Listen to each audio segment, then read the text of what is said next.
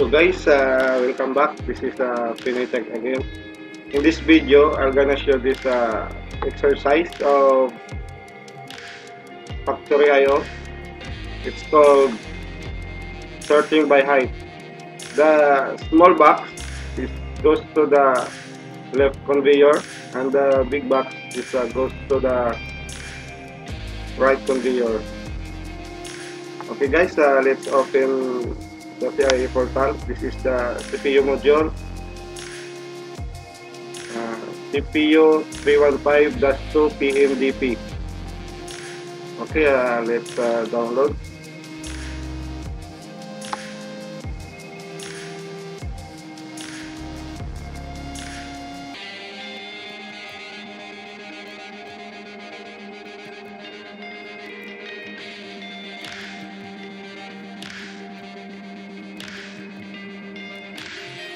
Go to main OB. Okay, we start here from the network one. Uh, network one, system run. Network two, start and stop light indicator. Reset counters. Output reset. Entry conveyor. Load roller. Transfer left. Conveyor left transfer right. Conveyor right. Small box counter. And the rest is a big box counter. Okay uh, let's uh, monitor.